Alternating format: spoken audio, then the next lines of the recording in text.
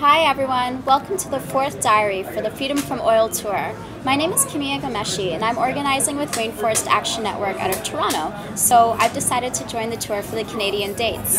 We're in London, Ontario right now, and I wanted to give you a taste of what we've been saying on stage. Uh, yeah, if you could just give Josh a couple minutes to uh, his thing before the proceedings continue, um, that'd be great. Josh, this is London, and London,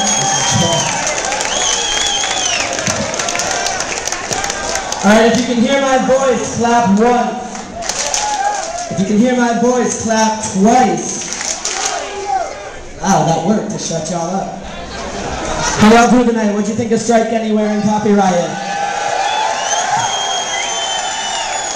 All right, so it's just five more minutes till Propagandhi goes on. But they're only gonna come on if we have a political conversation together first. Is that okay with you guys? That's what I like to hear. So my name is Joshua Kahn Russell. I'm an organizer with the Rainforest Action Network. And what that means is that I go around and help coordinate direct actions against some of the biggest companies in the world that are fucking up our communities and our planet. So that's what I do with my time. And the reason Propagandhi lets me tag along with them and rant every night is that we think that there's something special about this community, or at least there could be something special about this community, right? So when I was growing up in the New York punk scene, were really jaded and self-righteous, right? And we had a joke we liked to tell. And we're like this. How many punks does it take to change a light bulb? None. Punks never change anything. Oh, boo. So I'm saying that tonight because I don't think that's true anymore. And I was hoping tonight we could disprove that together. Do you think together we can make this more than just a show tonight? Okay, so in that case, I have a secret to tell. Keep it on the DL. Most people don't know it. But the secret is we're killing everything because we're addicted to oil. You guys know that? We just love to dig shit up out of the ground and burn it. That's what we do. We're addicted to it. Who here has heard of the tar sands before tonight? That's impressive. We just did a bunch of dates in the U.S. and we were just met with blank stares. Yeah, I know you live in Canada. so the tar sands are the next frontier of oil expansion, right? So to understand it fully, I want everyone to close your eyes, right? Now imagine there's this thick, black, goopy tar, and it's stuck in all this sand and sediment. And you can get it out and turn it to oil. But in order to do that, you have to use half as much energy as you extract.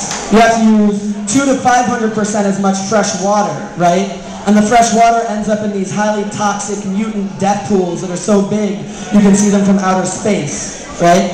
Let's say that you have to strip mine an area the size of the state of Florida to get at it. And let's say that it's all indigenous land and you have to violate treaty rights to get at it. And you have to poison communities, give them cancer, kill all the fish and wildlife so they can't live the lifestyles that they've lived for centuries before white people came to this planet, right? Let's say beyond that, is the biggest driver of global warming. That kind of sucks, huh? Yeah. so there's good news. The good news is that people are organizing and organizing against it. So I want to talk strategy with you guys for a second. Who here thinks big banks, banks are just altruistic institutions that have our best interests at heart? Me neither. So one thing that Rainforest Action Network and other groups are doing is that we're campaigning against the bank that's primarily funding the tar sands. It's RBC, right? And so we think that if we can dry up the funding for tar sands, we can take them down. So there's three ways you can get involved.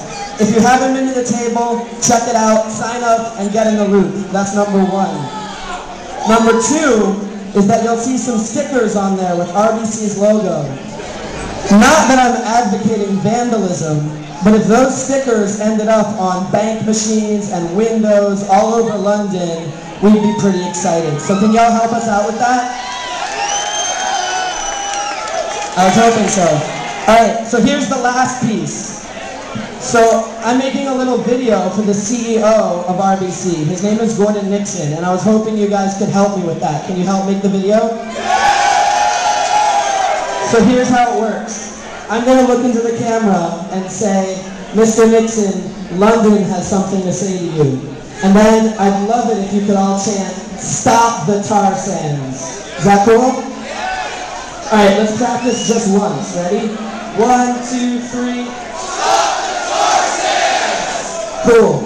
All right, so every night there's always been some jackasses who instead of scream fuck you or throw their middle finger in the air, really I'm asking you as uh, just uh, from a person, please don't do that because it'll actually ruin the video. Okay, you guys ready? We'll practice once more. One, two, three. Stop the tar! Even better. Okay, here we go. Mr. Nixon, London has something to say to you. Stop the tar! Thank you guys.